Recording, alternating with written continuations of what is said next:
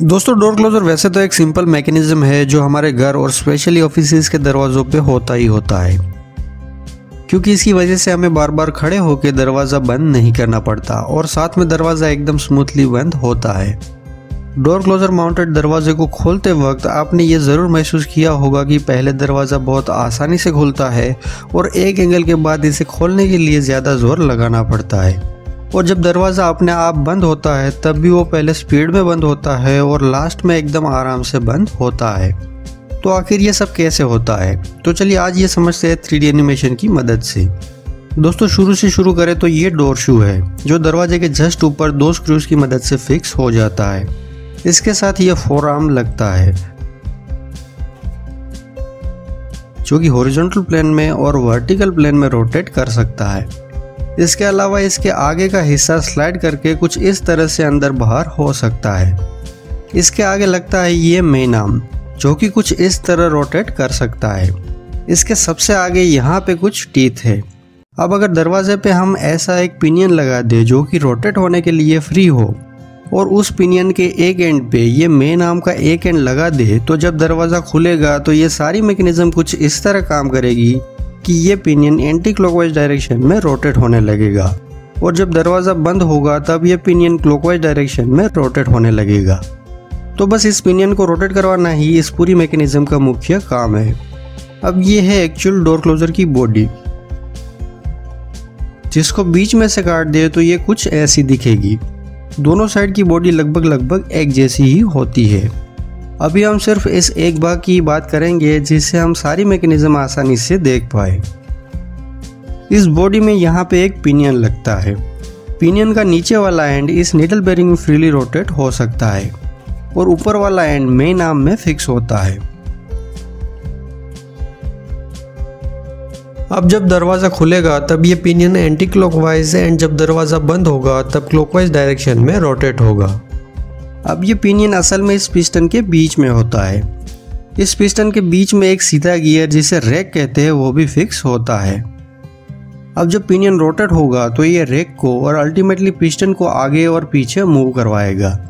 यानी कि जब दरवाज़ा खुलेगा, तब पिस्टन पीछे जाएगा और दरवाजे के बंद होते वक्त पिस्टन आगे आएगा। पर अभी दरवाज़ा एकदम ज़ोर से खुल जाएगा। इसकी गति कम करने के लिए यहाँ पे हम एक स्प्रिंग लगा देते हैं। जिससे अब इस दरवाजे को खोलने के लिए हल्का सा ज़ोर लगाना पड़ेगा। अब असल में ये पूरा डोर क्लोजर ऑयल से भरा हुआ होता है।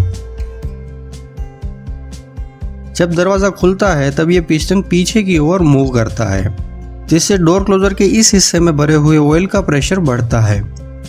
अब यहाँ पे ऑयल को निकलने के दो रास्ते हैं। एक है फ्री मूवमेंट वाला रास्ता इसमें से ऑयल तब तक फ्लो हो सकता है जब तक कि दरवाज़ा 70 डिग्री नहीं खुल जाता।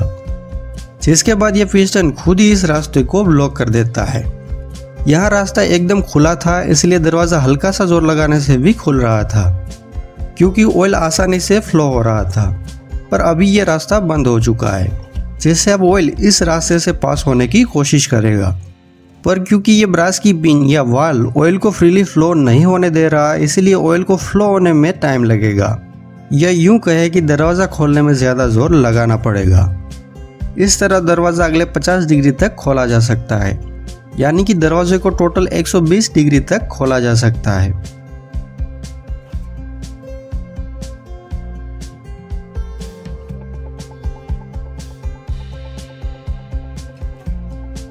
यहाँ पे एक सवाल आता है कि आखिर ये ऑयल फ्लो होके जा कहाँ रहा है?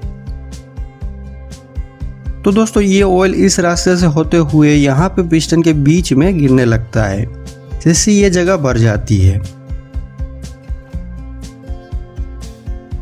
जिससे ऑयल पिस्टन के इस एंड में मौजूद वन वे वाल को पास करके इस साइड आने लगता है।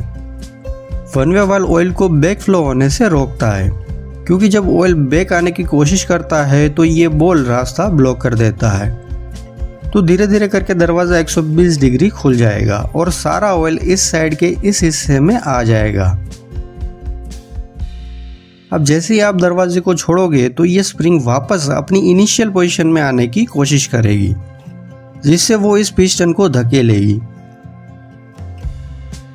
जिससे इस साइड का प्रेशर बढ़ेगा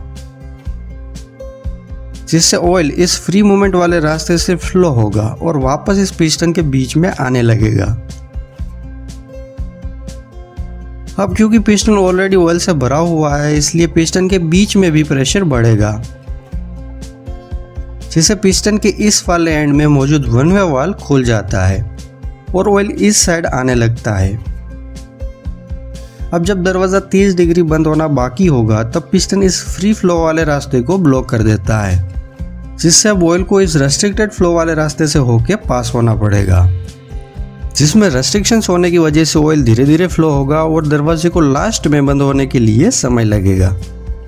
अब दोस्तों, यहाँ पे कुछ बातें समझ लीजिए। पहली बात यह कि डोर क्लोजर के हर खाली हिस्से में हर समय ऑयल भरा ही होता है।